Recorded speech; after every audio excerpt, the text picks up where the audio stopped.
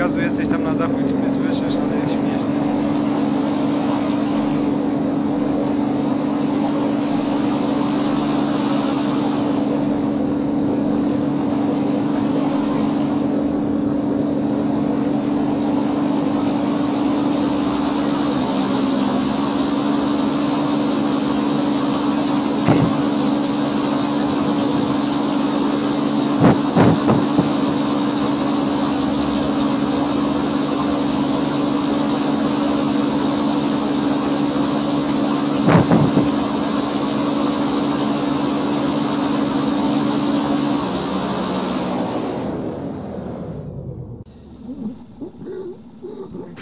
Oof.